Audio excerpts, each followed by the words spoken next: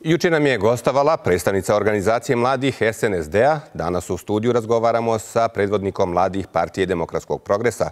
Teme su iste, analiza najvažnijih republičkih političkih događaja i procesa. Stefan Gavrić, predsjednik Savjeta mladih PDP-a i član predsjedništva ove partije, naš je gost. Eh, Gospodine Gavriću, dobro jutro, dobrodošli. Hvala što ste iz Doboja doputovali namjenski u ovu emisiju. Dobro jutro, hvala vama na pozivu i drago mi je da imamo priliku na RTRS-u, na našoj televiziji, da razgovaramo ovaj, o ovim temama.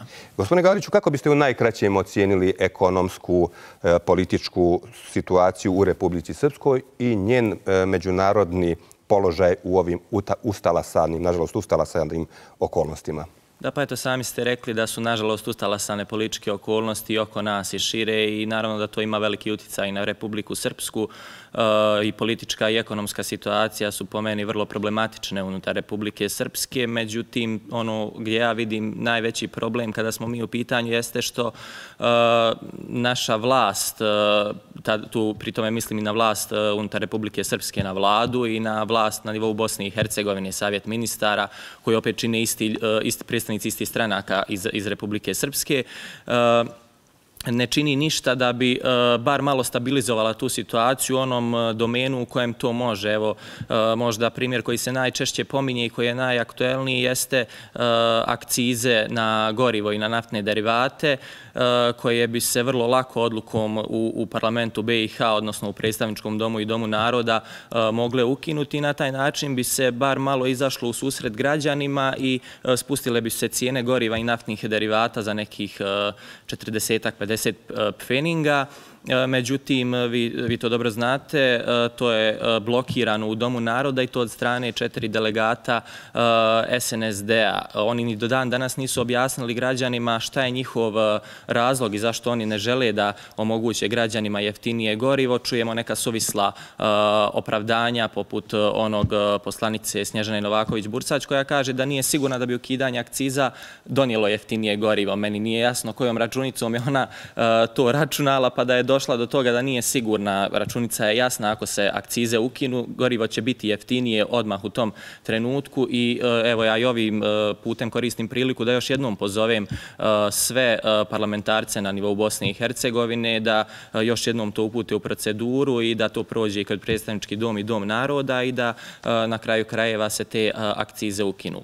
Oprostite, bez naravno, kako se to obično kaže, bez želje da budem nekom advokat, ali doktorica Bursać Novaković je aludirala tu da ni ta odluka ne bi obavezala e, vlasnike benzinskih pumpi da primjenjuje te niže cijene, a da bi opet ograničenje cijena možda dovelo do nestašica kao u Sloveniji. Samo u tom smislu sam želio da intervenišem. Ali pazite, ukidanjem akciza vi ne obavezujete benzinske pumpe da one umanje svoju maržu i da na taj način umanje cijenu goriva. Pritom je ranije donesena odluka o ograničavanju cijena marži.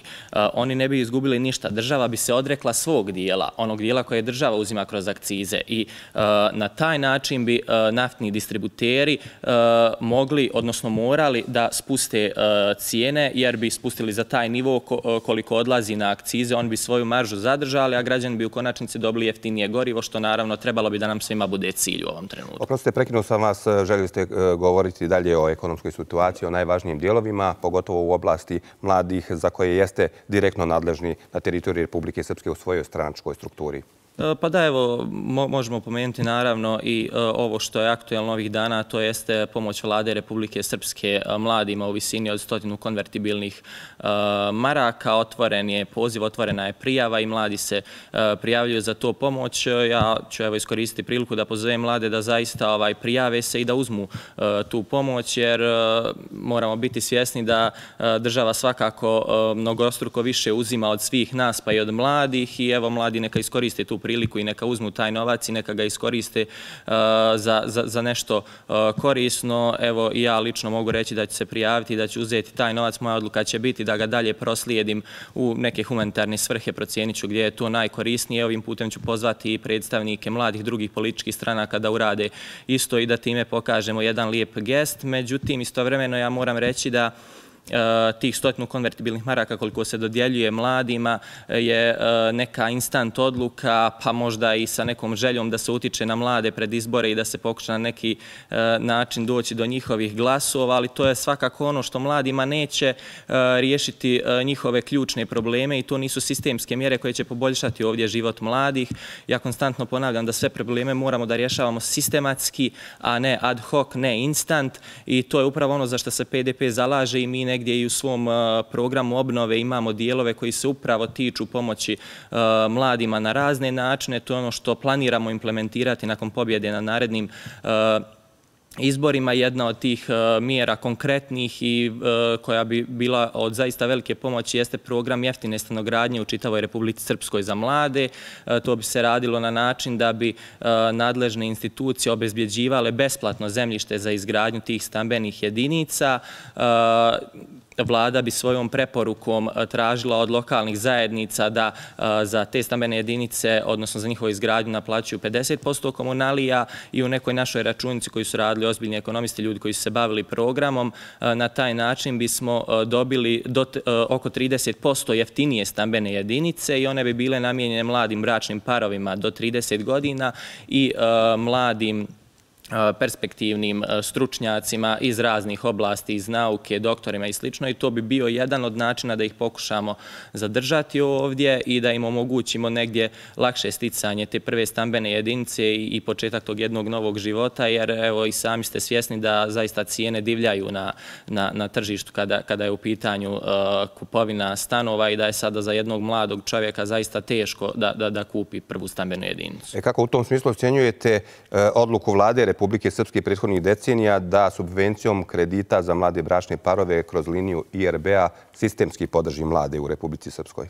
Eh, svaku odluku koja se tiče, eh, koja je sistemska i koja se tiče pomoći mladima na taj način, mi ćemo uvijek podržati. Evo imamo slučaj i eh, u Doboju iz kojeg ja dolazim, u kojem se donosi mnogo loših, mnogo pogrešnih odluka, ali jedna je bila dobra o obezbjeđivanju stotinu stambenih jedinica za mlade bračne parove i ona je zaista bila podržana od svih pa i od PDP-a i p-a naš odbornik tada je glasao za tu odluku i takve stvari ćemo uvijek podržati. Međutim, smatramo zaista da je potrebno da se ovo uradi radi na republičkom nivou kroz jednu e, e, sistematsku mjeru, ozbiljnu, koja će e, konstantno biti praćena od strane vlade Republike Srpske. Dakle, tu bi Republička direkcija za razvoj i izgradnju imala posao da nadgleda kako teče izgradnja, prodaja tih stambenih jedinica, da ne dolazi ni do kakvih malverzacija u tom poslu i da zaista ono što je namijenjeno mladima na kraju krajeva i dođe mladima u ruke i pomogne im na taj način. Evo, malo čas ste delimično pohvalili odluku da mladi dobiju po stotinu konvertibilnih maraka uz izraženu kritiku da aludirate da je to možda jedna vrsta e, trgovine pred izbore. E, jeste li tu potpuno dosljedni s obzirom na to da PDP hvali politiku predsjednika Srbije Aleksandra Vučića koji gotovo svake godine istu mjeru primjenjuje i dobija podršku naroda za tu mjeru? E, mi smo naravno uvijek dosljedni. E, mi često e, pohvalimo ono što je dobro što se uradi u Srbiji i što želimo da se prenese i na naše područje. Moramo ipak istaći da Srbija ima mnogo više sistematskih mjera kada su u pitanju mladi. Evo samo ću pomenuti program zapošljavanja i samozapošljavanja mladih i preduzetništva kod mladih koji je Srbija razvila pa po najbolje na prostoru bivše bivše Jugoslavije i to je također nešto što ćemo se truditi da u narednom periodu i mi e, ovdje implementiramo na bolji način jer kod nas postoje neke odluke koje se tiču e, preduzetništva za mlade i samozapošljavanja, međutim to jako slabo e, funkcioniše. Dakle, kažem, ovih 100 maraka mladi trebaju da uzmu, međutim, pitanje motiva s kojim se oni taj novac daje i naravno, kažem ponovo, bitno je da se problemi rješavaju sistematski, a zaista mladi danas eh, na, na na mnogo polja eh, treba, treba pomoći mladima od stanogradnje, eh, kupovne prve stambene jedinice, zapošljavanja, samozapošljavanja, do toga da je potrebno vršiti i promjenu unutar obrazovnog sistema koji je po meni trenutno jako loše koncipiran. Moramo praviti sistem obrazovanja za 21. vijek i pripremati mlade ljude za tržište rada koje ih očekuje. Gospodine Gavriću, vi ste i kandidat za Narodnu skupštinu Republike Srpske. U tom smislu naravno promišljate i ove najvažnije političke teme. E, kako komentarišete to što su kandidatkinja za predsjednicu Republike Srpske i gradonačelnik Banja Luke istina rekli da Kristijana Šmita ne priznaju za visokog predstavnika, ali ipak zvanično razgovarali sa njim. Ako znamo za odluku Narodne skupštine Republike Srpske i da Šmit nema podršku u Savjetu bezbjednosti Ujedinjenih nacija, a pritome drznuo se i da iz te pozicije nameće odluke. E, pa vidite, e, mi smo e, principijelnog i jasnog stava da sa svima treba razgovarati.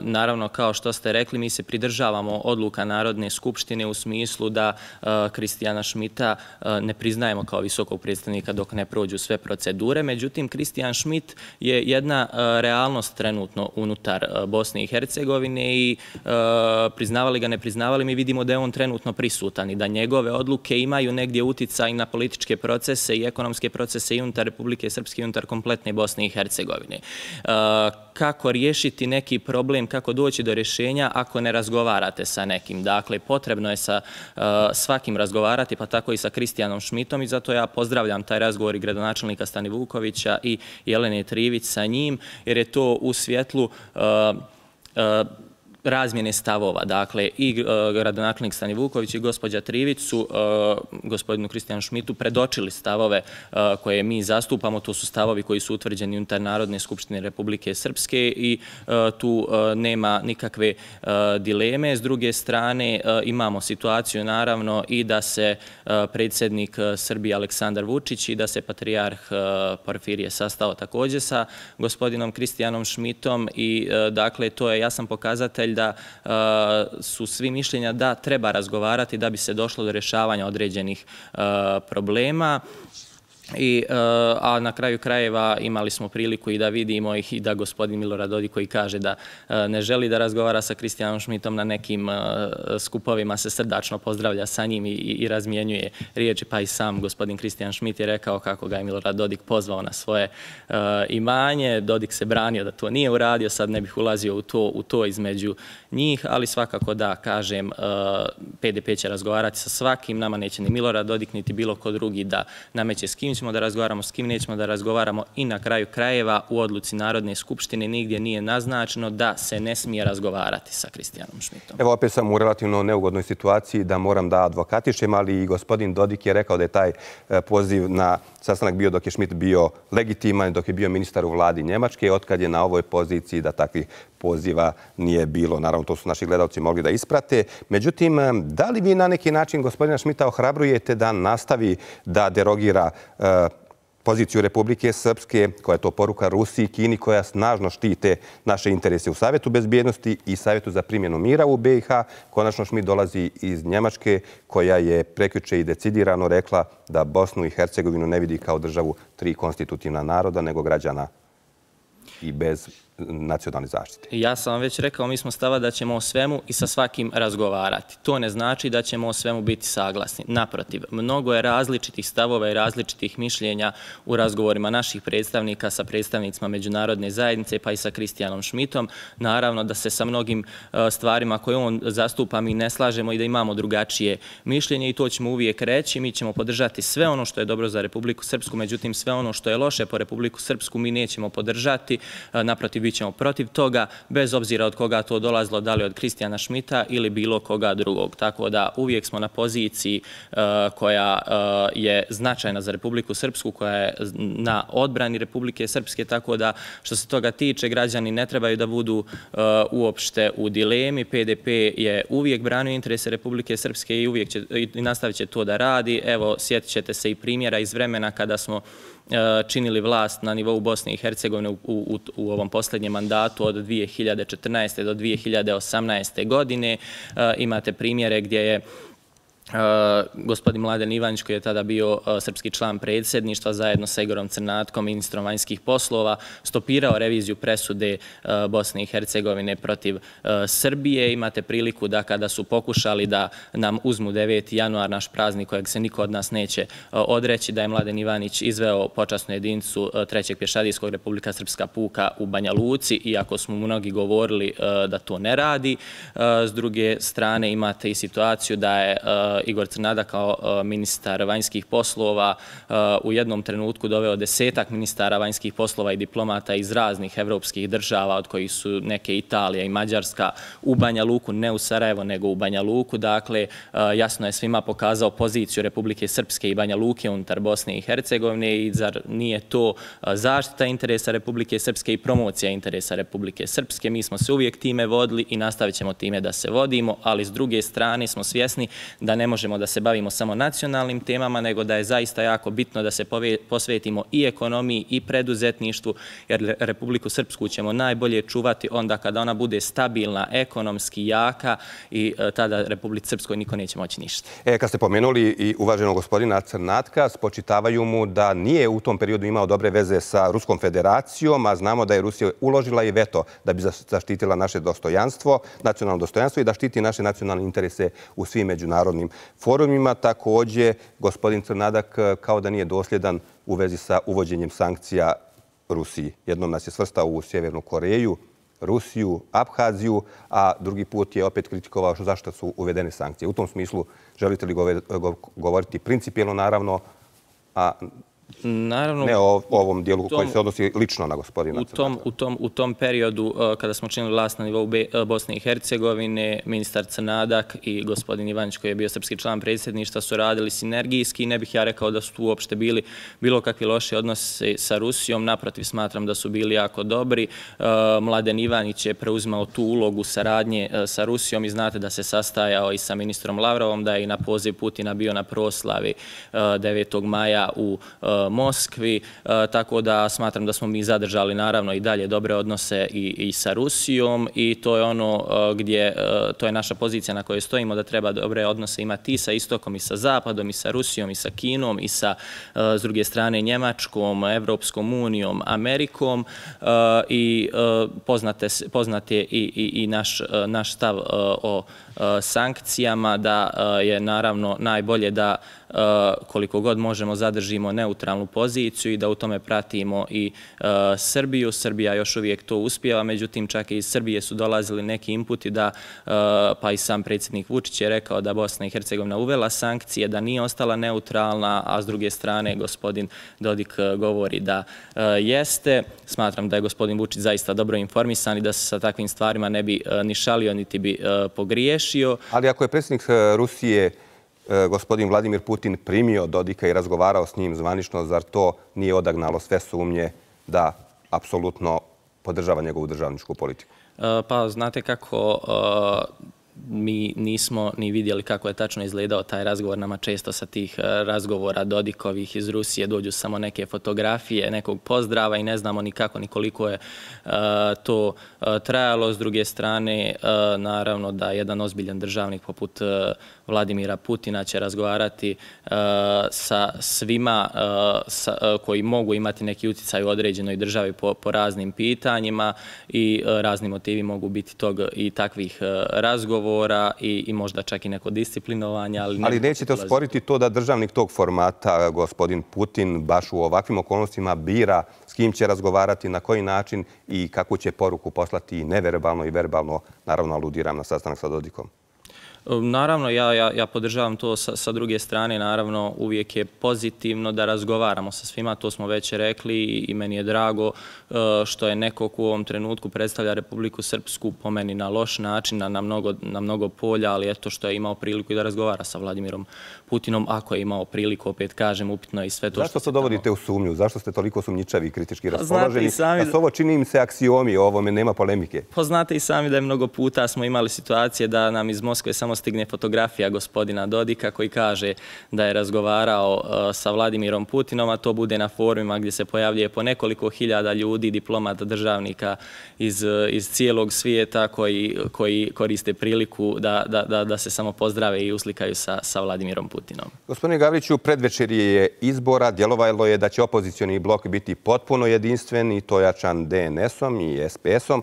Međutim, i DNS i SPS imaju svoje nezavisne kandidate u tom opozicijonom formalno opozicijonom bloku. Čuli smo e, međusobne kritike i e, gospodina Šarovića, odnosno gospodina Miličevića, vodećih ljudi u u SDS-u, izvinjavam se, nisu bili sasvim podudarni, pa čak ovih dana i u Banja Luci čujemo da nisu na istoj strani, makar kad je riječ o urbanističkom planu, gospodin Draško Stanin Vuković, gospodin Nebojša Vukanović. Kako biste sve ove elemente u najkraćem objasnili i zašto opozicija nije jedinstvena u potpunosti?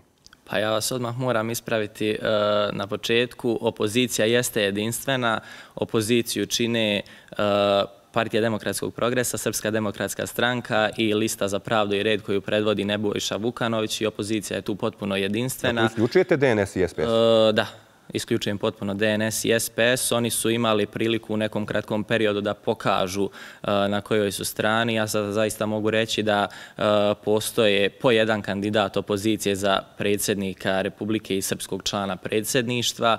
Uh, to su Jelena Trivić uh, i Mirko Šarović. Svaki drugi kandidat je uh, pokušaj vlasti da preko svojih satelita uh, oslabi poziciju Jelene Trivić ili Mirka Šarovića. Međutim, ni to im neće proći za rukom. Ljudima je sve jasno danas u eri mobilnih telefona, društvenih mreža, modernih tehnologija, svi dinamično prate političku situaciju iz dana u dan i mislim da je ljudima zaista jasno šta se tu dešava, tako da opozicija je jedinstvena, ima svoje jedinstvene kandidate, svi drugi mogu reći su kandidati vlasti. S druge strane, ovo što ste pomenuli unutar SDS-a, ili između Draška Stani Vukovića i Nebojše Vukanovića. To su neke sitne stvari u kojima postoje razlike u mišljenjima i to je ono što je uvijek poželjno i što mi podržavamo unutar opozicije. Mi nismo jedna zatvorena politička struktura poput SNSD-a da se mora slušati jedan vođa koji je neprekosnoven i koji po njihovom mišljenju ne može da pogriješi. Naravno, da li je to alibi da je bilo ovakvih trzavica u SNSD-u? Sigurno biste to primijetili i drugačije komentarisali jer ipak na javnoj sceni tako različita mišljenja pa čak se svrstati u različite grupe, govorimo o gospodinu Stani Vukoviću i gospodinu Vukanoviću, mislim da malo amortizujete taj problem. Pa ja tu zaista ne vidim problem. Oni imaju po pitanju uh, jednog problema u Banja Luci različita uh, mišljenja i to je zaista dobro jer složit ćete se i vi da u velikim političkim organizacijama ili u velikim koalicijama kakva je naša nije ni prirodno da svi o istoj stvari misle isto. Naravno da smo mi svi po, uh, pojedinci i da možemo imati različita mišljenja o nekim stvarima i dobro je što Dešavalo se to i ranije, svjesni ste vi. Dobro je što uvijek iz takvih stvari izađemo sa zajedničkim i kvalitetnim, najkvalitetnijim rješenjima za građane i opet nastavljamo dalje da radimo e, za dobrobit građana. I e, siguran sam e, da će to biti tako i ovaj put i zaista tu ne vidim nikakav problem, a jasno je da i Jelena Trivić i Draško Stanivuković i Nebojša Vukanović i iz SDS-a Miličević i Šarović svi stojimo na istoj jasnoj poziciji da su Republici Srpskoj zaista nakon 20 20 godina e, loše vladavine SNSD-a potrebne e, krupne e, i stvarne promjene, ne samo promjene stranaka, nego promjene politika zaista i to je ono što očekujemo da se desi na ovim izborima, a onda ćemo zaista da krenemo da implementiramo ove naše programe i politike za koje se zalažemo. Da još jednom posjetim da ste predsjednik Savjeta mladih PDP-a. U ovom studiju uče je bila Anja Ljubojević iz Gradske organizacije mladih socijaldemokrata. Često nam naravno gostuje i predsjednik eh, mladih Savjeza nezavisnih socijaldemokrata i podpredsjednik Narodne skupštine Denis Šulić. Kako sarađujete sa tim kolegama iz eh, vama suprostavljenog eh, SNSD-a? Pa moram reći da zaista imamo jako rijetko i jako malo kontakata. Dešava se eventualno da se sretnemo prilikom gostovanja nekih u emisijama. Eto, sa kolegom Šulićem sam posljednji put gostovao na alternativnoj televiziji u sklopu jedne emisije. Tad smo se vidjeli, razmijenili par E, Eh, riječi. Eh, naravno, zadržavamo jedan ljudski odnos jer i to je bitno prije svega. Ovaj, uvijek ćemo se kulturno pozdraviti ako treba o nečemu i porazgovarati. Razmijenit ćemo i mišljenja kada su ona različita po pitanju eh, nekih političkih tema, međutim zaista nemamo neku, neku posebnu saradnju. Ja imam zaista odličnu saradnju sa uh, predsjednikom mladih SDS-a Zoranom Vekićem. Sa njim se jako uh, često i čujem i vidim i dogovaramo neke zajedničke aktivnosti, spremamo i neke zajedničke odluke i programe za mlade koje uh, ćemo na, preko, preko naših predstavnika i u Narodnoj skupštini Republike Srpske i u parlamentu BiH da upućujemo u procedure. Tako da mogu reći da s njim imam zaista najbolju saradnju od mladih predstavnika drugih stranaka. I na kraju ovog razgovora, kakve su vaše lične ambicije, kakva očekivanja imate pred izbore i koliko očekujete mladih u novom sazivu Narodne skupštine Republike Srpske? Predpostavljam da imate djelimičan uvid i u ostale liste. Kako komentarišete pozicije koje su mladi dobili unutar svojih lista? Govorim u odnosi se naravno na sve partije. E, pa naravno uvijek, uvijek mi je drago kada vidim mlade ljude na odgovornim pozicijama, međutim ono što uvijek naglašavam jeste e, bitno da ti ljudi nisu na tim pozicijama samo zato što su mladi, nego su kompetentni, e, iskreni, pošteni, imaju svoje znanje, svoju struku, mogu nešto kvalitetno da urade, ne treba nekog postaviti na poziciju samo zato što je mlad ili iskusan, nego zaista po kvalitetu i po stručnosti. Evo kada su u pitanju liste za Narodnu skupštinu, mi smo imali 2018.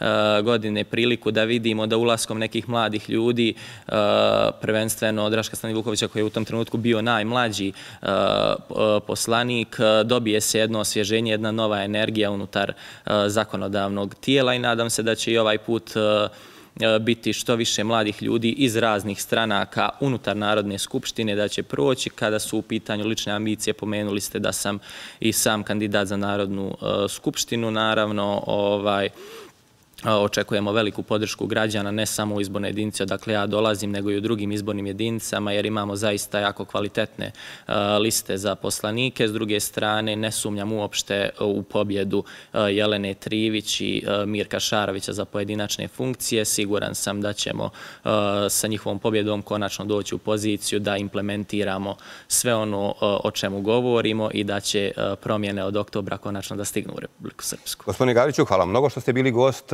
našeg javnog medijskog servisa, javnog servisa svih građana i svih stranaka. Hvala i vama i odazvat ću se uvijek na vaš poziv. Drago mi je što smo imali priliku da razgovaramo. Hvala još jednom.